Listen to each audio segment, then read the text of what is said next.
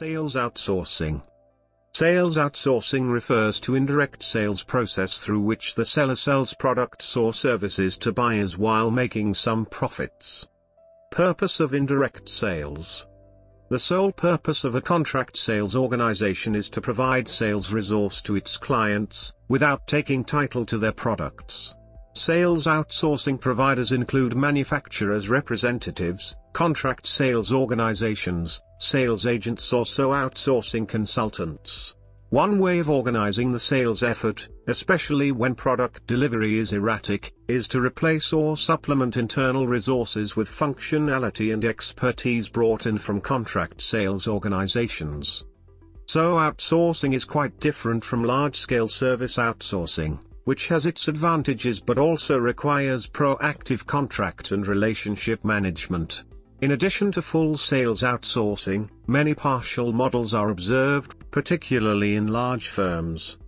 Advantages so is expected to be cheaper than the fully loaded cost of employing salespeople, but calculating the cost comparison over time is far from straightforward. Nevertheless, replacing fixed costs with variable costs is attractive to budget holders.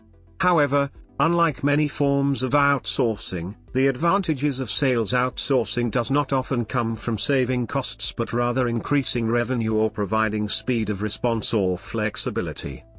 The business case for sales outsourcing should also include consideration of the cost of controlling the contract. Difficulty in measuring the link between sales activity and sales performance leads to a preference for employed salespeople. However, the issues internally are often the same and the internal hire has many other corporate distractions that do not occur with external resources. Companies may also choose sales outsourcing as a means of accessing the best sales skills.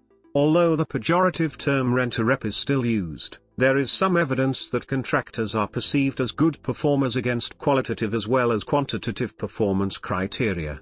Even so, the reputational risk of third parties handling customer relationships has been observed as a factor restricting sales outsourcing.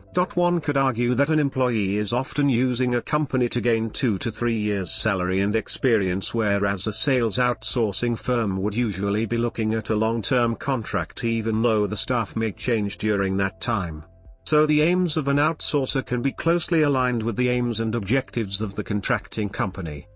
A recent study has highlighted flexibility as an important driver for outsourcing sales. Uncertain business environments accentuate the need to turn sales resource on and off quickly.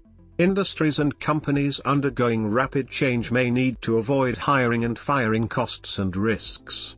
Contract sales organizations can absorb employment risk, enabling their clients to respond to short-term opportunities or competitor activity, see lean startup. However, an outsourcer may build in more of a premium to the rate or commission if excessive flexibility is required on a contract. Contract sales organizations are growing in volume and influence, able to provide both tactical activity and long-term strategic support to their clients. Speed of response is seen as a key reason to use an outsourcer.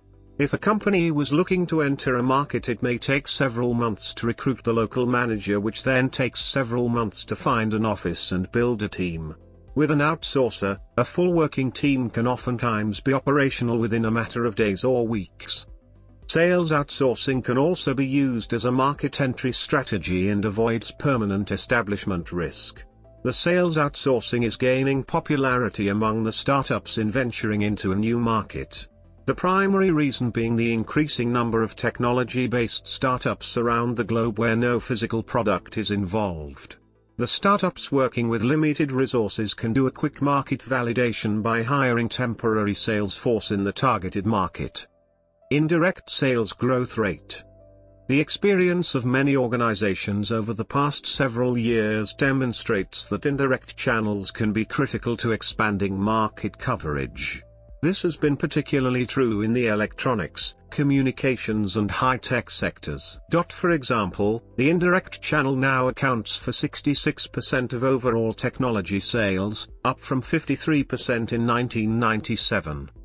The US B2B technology market experienced 6% dollar growth in 2018. During the period, Hardware represented 73% of revenue and grew 5%, while software represented 27% of revenue and grew 11%. Examples of indirect sales companies.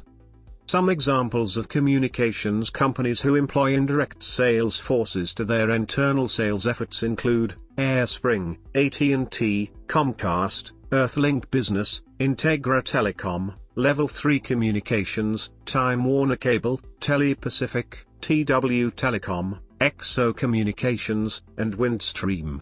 Some top sales agencies who sell voice and data services for these carriers include Telarus, based in Salt Lake City, Utah, Intelisys, based in Petaluma, California, and Telecom Brokerage Incorporated, TBI, based in Chicago, Illinois,